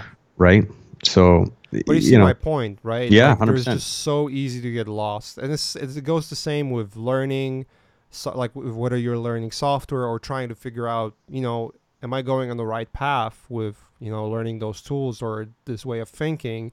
How Mhm. do I know that the person that is talking to me are they are they so good that they actually know, or Mhm. are are they just a good popular person that they they speak from authority because they are popular, not because they have experience doing that? You know Sure. and that's that's where you, you can get lost real real quick and um and i think yeah it's coming back to w- w- when you were t- when you were talking about those platforms those those third party you know hey like i'm starting a blog and in this blog i'll display like other people's work and tag it if if i wanted to you know and like and then like the value of the work becomes the value of like the artist is not getting what they they should be getting out of that Mhm. the, all the value goes towards the owner but th- there is a difference between like let's say if you if you do something like that and you are an artist yourself with a Mhm. reputation Mhm. versus if you're a random person behind the nickname or behind a hashtag or behind a you know avatar that no Mhm. one knows who you are you have no personal like no professional experience uh, anywhere whatsoever so it's very easy for you to sort of like oop uh, let me fold it and start somewhere somewhere else you know Right. and no one will ever know who you were and why you did what you did you know Right, but what they will remember is the the name of whether it's an Instagram profile or a business where they saw your work. That's what they'll remember. They'll be like, "Oh yeah, I was over I was over at yeah, blah blah blah." And they'll be like, "Oh, that's a great site for inspiration. Yeah, you should follow them." It's not that they're following you as the artist. It's really that they're yeah, yeah, yeah. building they're building something and I put this on my Twitter I think a couple days ago I said look like this this new word like you know feature like we're going to feature your work we'd love to feature your work in our real it's a you know we'd love to feature your stuff on our profile and and it's a very delicate balance because I know there's not like there's you know there's there's not you know you can't paint everything with the same brush but I mm-hmm. see so many times where companies or people will be like hey I'd like to feature your work on my thing. Can you know and you know what we'll do is we'll show your work to all of our followers. And the issue is that the problem is, is that the risk is all on you is what i say. The risk is all on you that you're going to make a transaction and the transaction is that they get something they've gotten something right so Yeah. you give them something they already got value by you Yeah. saying yes yeah, so they've That's got they your thing. Yeah, they've got your thing. And then they also they're likely going to be the one that values or gets value from you know whatever traffic, analytics, blah blah blah blah blah. But Yeah. what you're hoping is that what they're valuing for sure from is going to then somehow trickle down and also create value for you. And the chances are pretty slim you know the chances of, of of that actually being like okay i'm going to go follow that person likely rather than just following the awesome curated thing you know is is pretty low. So and whether like and it goes to advertising. Usually it's just a form of advertising. It doesn't matter what. If you're featuring something somewhere you're trying to advertise a product you're trying to advertise you know your brand you're trying to advertise your community right? You're trying to ad- advertise your software and I think it's pretty. I think it's pretty. Um, get something, get something. Don't, you know, don't just give it away. Yeah, don't know? say yes because you're gonna be featured. I, I, and you, you, you, you, you put it like you put it right on the button with this, dude. Like when someone features your work, even if their profile is like five million followers, let's say, right? Let's say it's a huge, huge, huge profile, and they offer you, hey, like we're gonna feature your work. We have five million followers. You're gonna get a lot of traffic. Are Right. you? But Like uh, that's the, que- the question I would ask is, how did they get to five million followers? Well, uh, no, I, I, that's a legit question too. But but another question is like, are are the followers of that profile gonna follow you, or are they are following because they have uh, this randomized dose of of you know awesome art being Totally, delivered totally. to them? You know, Right. And the That's vast what I'm majority saying. of You the people yeah. are only there for that. They don't care about who's the artist anymore. Hundred percent. So that's my point: is how did they get to five million followers? Is because on day one they reached out to one artist, and then day two they reached out to another artist, and they continued to build something that was on the backs of a bunch of little tiny bite-sized chunks that they built mm-hmm. by not ever having to, you know, transact on content. Yeah, exactly. And They got they got something they got something for nothing over and over and over again, so they were able to build something that had five million followers. And by the way, them reaching out to artists, that's freaking rare. like like Yeah. when that happens, they're at least trying to be legit one way or, or another, you know? Yeah. Versus versus um just like uh, uh, it's there, it must be free. Let me post it, you know? Yeah, and the issue is it's going to be like impossible to control. You know what I mean? It's going to be very difficult to control, and I think that that's why um, when we're talking about Avant Form, it's it's not the artists that are on there already understand this. You know, they already get that this is kind of a thing that they are trying to avoid, um, and yeah, it's just hopefully, uh, hopefully. Uh, artists you know that are coming up and trying to figure out this this crazy space of Instagram and trying to figure out how to you know monetize their work or monetize their craft.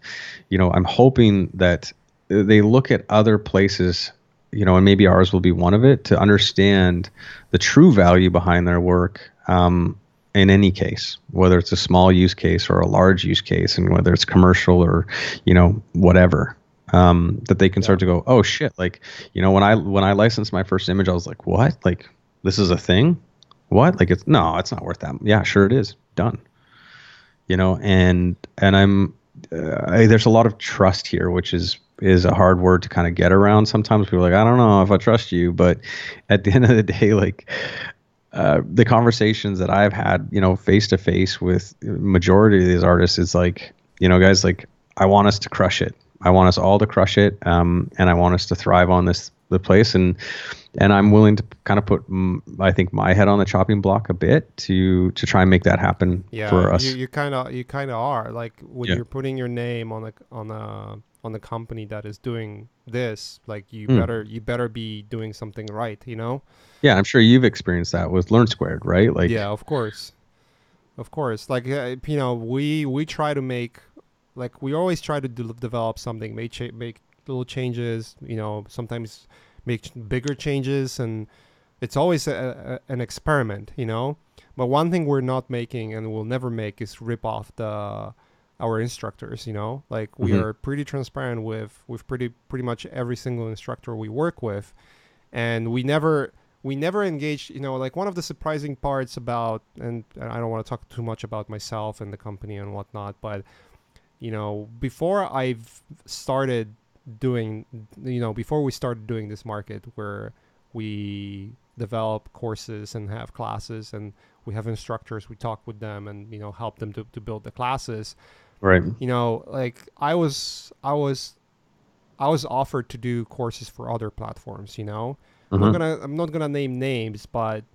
quite a few of them had a clause where it would basically say like as long as you're on this platform you cannot teach anywhere else.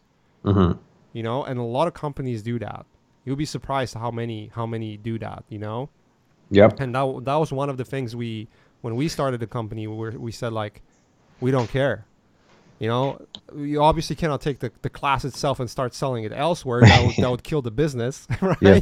yeah, like yeah. what would stop you from like cutting the prices or you know putting it on youtube for free whatever like whatever whatever whatever right? Yep. Like there's there's there's always a business part of it. But but generally speaking like if we have an instructor we don't say like hey you cannot teach anywhere else. Like no you can you can. As Mhm. long as you're not taking the video content that you created for the class and like literally posting it elsewhere Mhm. you're fine. Like we don't care. Yeah you're not like under yeah. that company's umbrella you know? Exactly.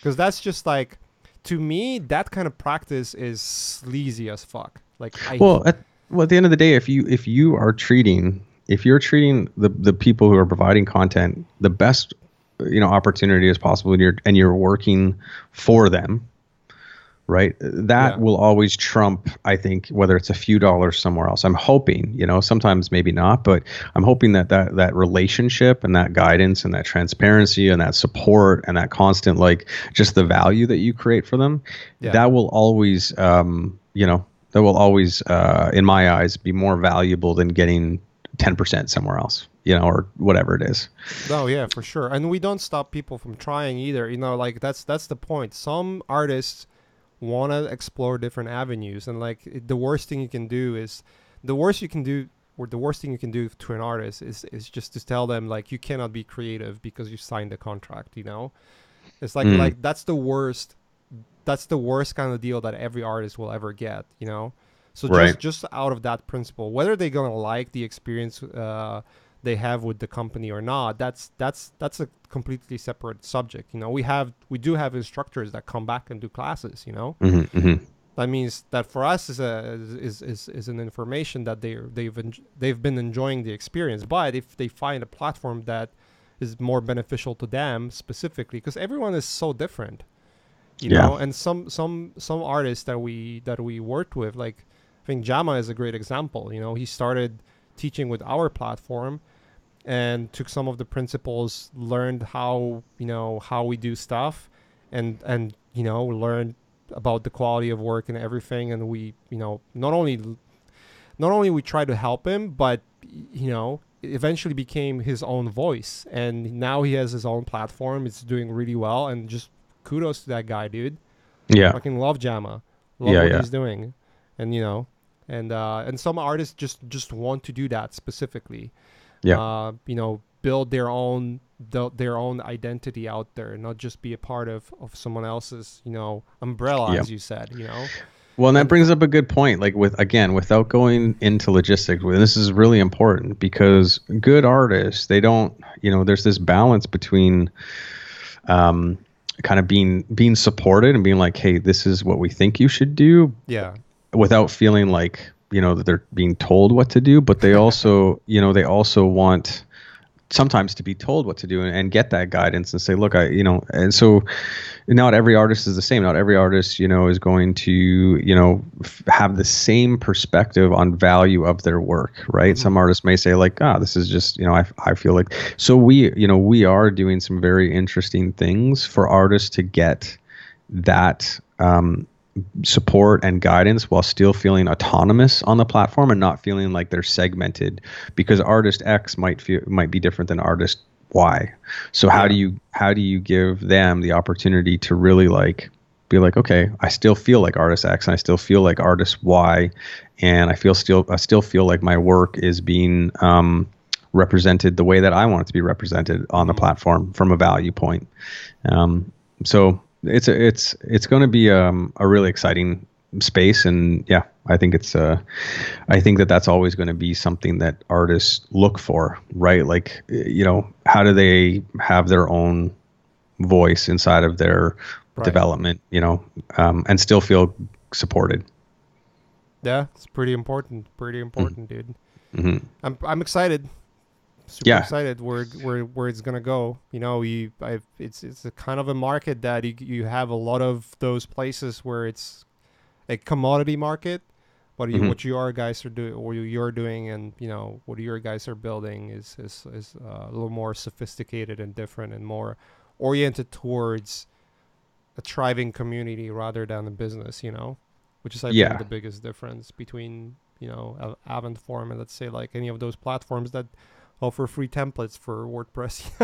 Oh God, yeah. No, it's it's um yeah, it's highly curated, and I think that that if the quality always stays high, and the artists are always able to feel like they're surrounded by artists that are going to you know artists and work that are going to not only elevate um their their work Mhm. but also challenge them to elevate their own work then i think you know when i look at the artists on on our landing page i'm just like i got to pick up the pace you know? I really have to like you know i just have to make sure that i'm carving out my own corner you know so we're not playing the charlie brown game of soccer you know where everyone's doing what everyone else is doing. It's like you know there's enough people on our platform doing that. There's enough artists doing this. There's enough doing that. So you know and growing it so that each person continues to kind of go down their own path because it's um it's it's it's the only way that those artists will thrive in their corner if they're the you know if they're only playing there with a, a few people rather than a whole you know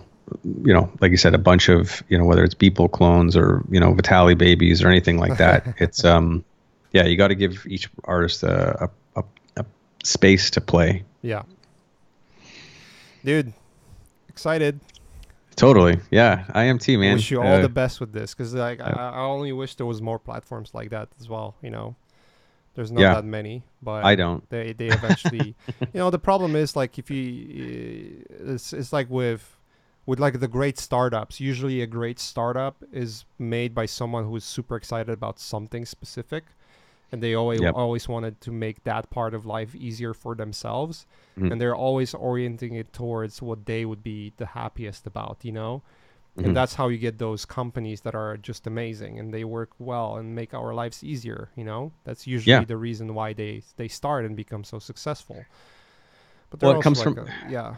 It comes from a, a it comes from a, uh, a a a place that's rooted in like passion and authenticity rather than you know um just like oh you know we're going to do what they're doing. It's like no no no like uh, i want i i want to make sure that i do really well inside of this platform and and my, my work gets out to where it's supposed to get to and that it's you know it's it's elevated and put in in front of the right companies the right places and that i can experience you know all of the benefits of licensing without all the headaches of licensing and have it kind of totally automated in the mm-hmm. background yeah you know? that makes sense.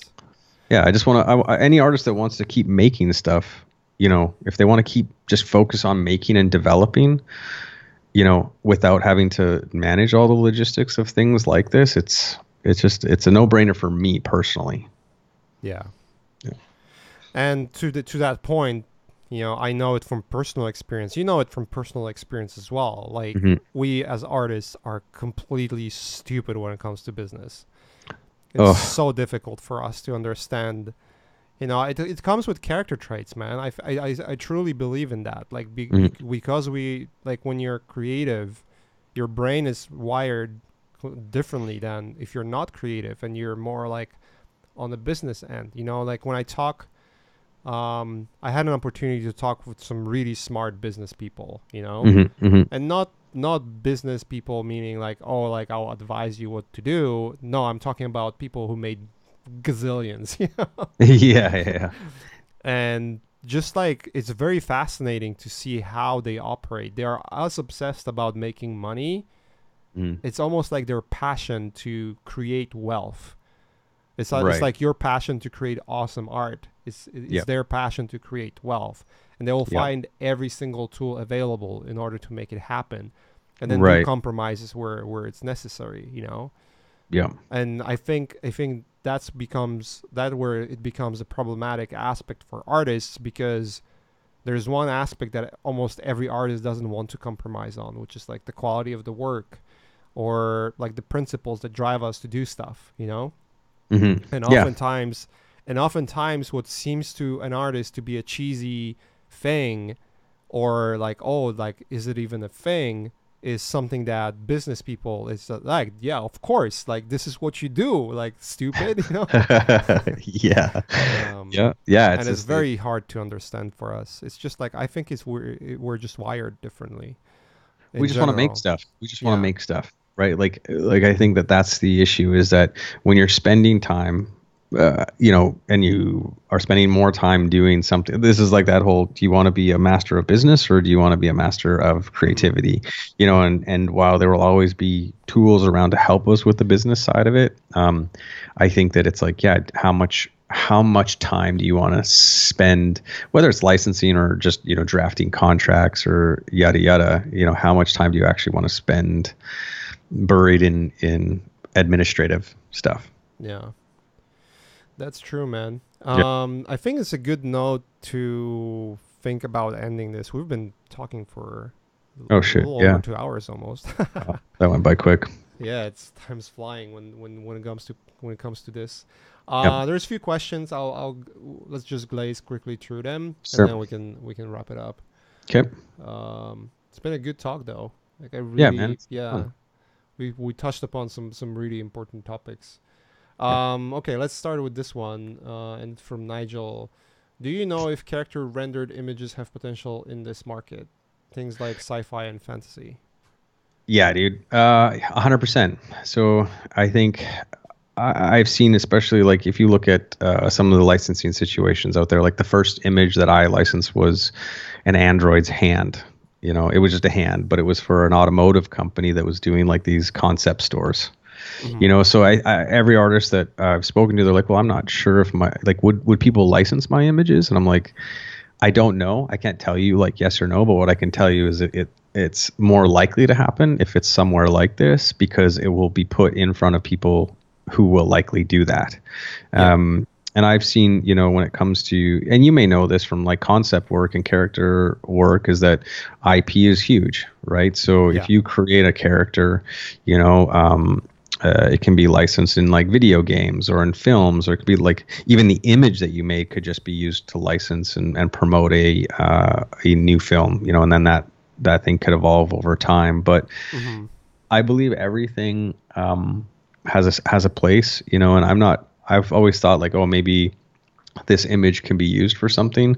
But when I saw Mike's work get used for the Louis Vuitton stuff, like the, I was like, you know, I, there's no correlation. No one would look at like people's dystopian, you know, uh, landscapes and go like, oh yeah, you know what? I totally could picture that on a Louis Vuitton T-shirt.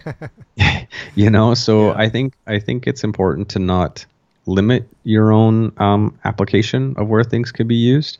Mm. But um, you know, you can. Everything's got value for sure. Yeah, I think more importantly, like, would you would you change the craft to get licensing where you think the licensing should be, and then regret with the fact that now you have to do that all the time because that's what people are knowing you for, you know?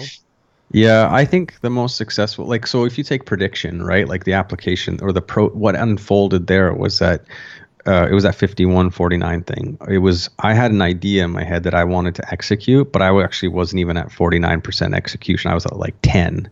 So yeah. I had to do the class to elevate it so that my execution at least matched or closely enough matched my idea mm-hmm. so that, you know, Mike's class, I could benefit from it. And what was produced was well but the issue was there was or the, the, the thing was there's a concept behind it there's an idea of machine learning and that spoke very clearly to the you know whether it was data you know just a general term just data mm-hmm. spoke to the companies that licensed it right yeah and so i think that you know character work will always have a space to the companies that you know whether it's video games or you know uh, movies or ip for t-shirts like i don't know but i do believe that um, yeah, it all has value in in, in unique scenarios. As well, you know, yeah. like yep. the, once the idea is great and it's ecu- executed pretty well, like yeah, it's, it's yep. definitely gonna happen.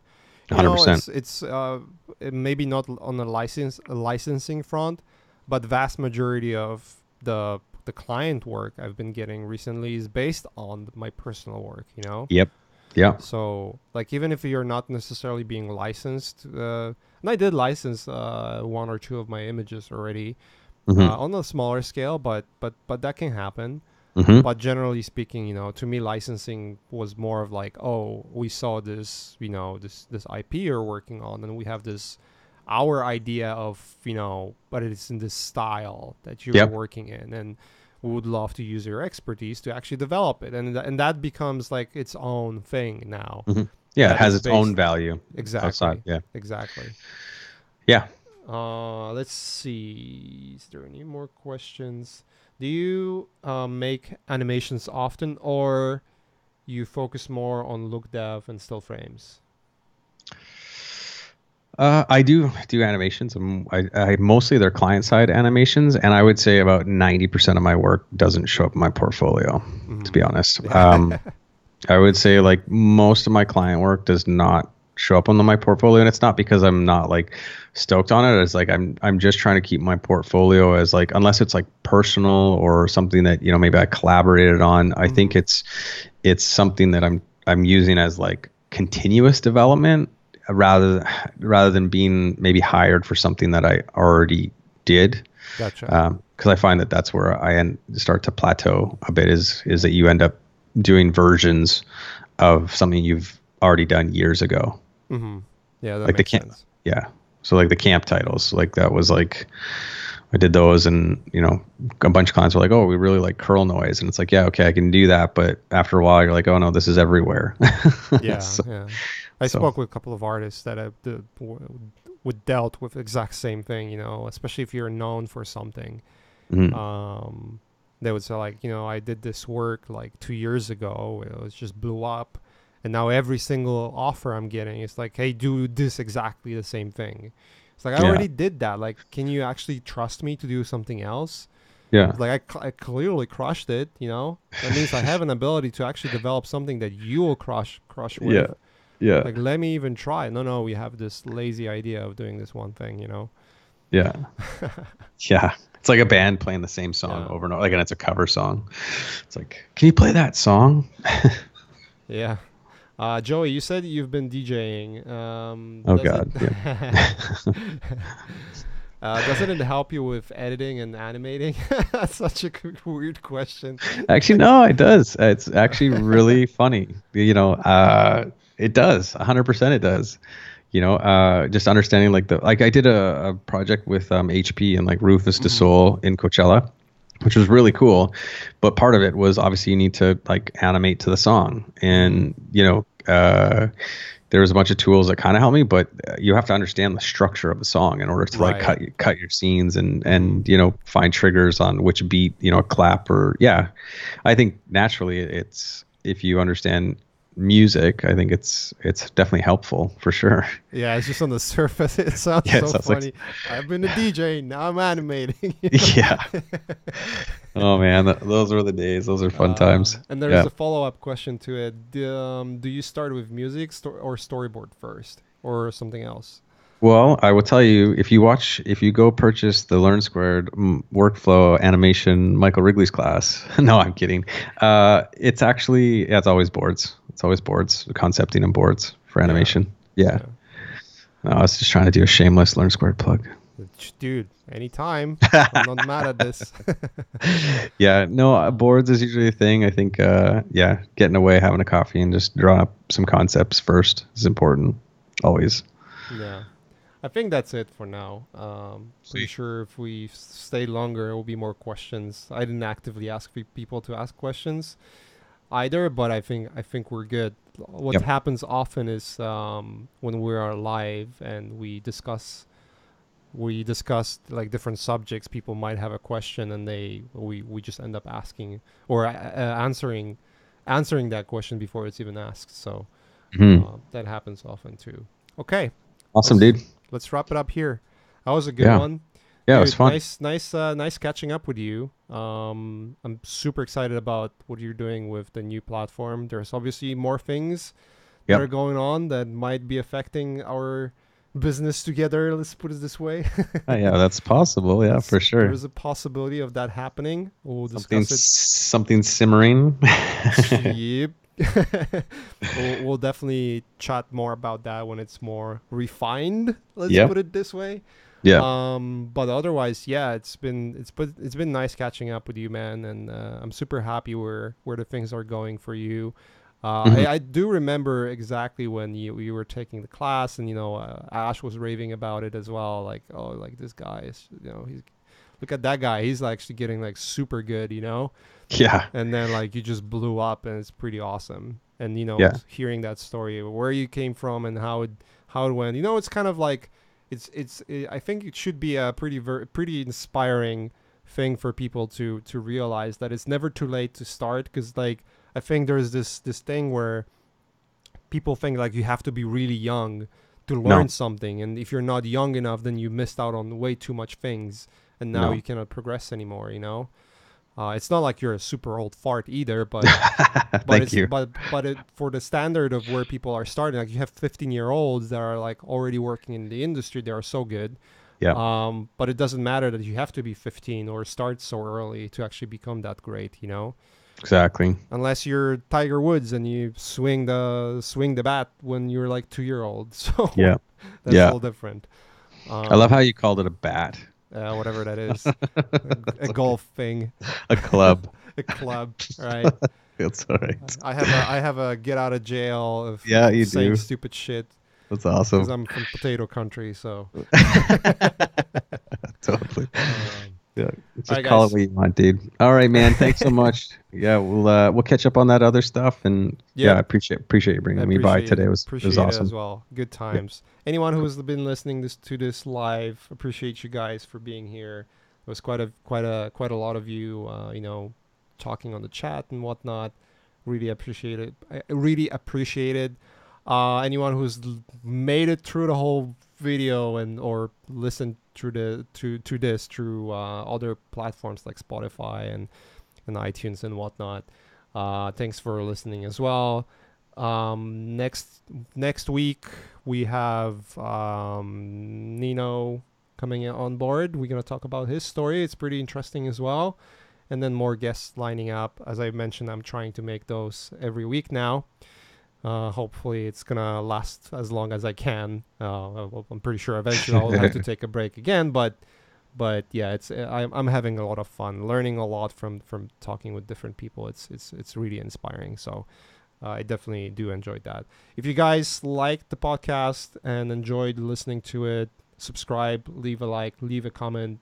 You know, if you want to see someone on the podcast, leave a comment as well or suggestion. That's always helpful. Um, and if you feel really adventurous, um, I'm doing monthly Q and A's, uh, monthly AMAs, uh, usually last week of the month.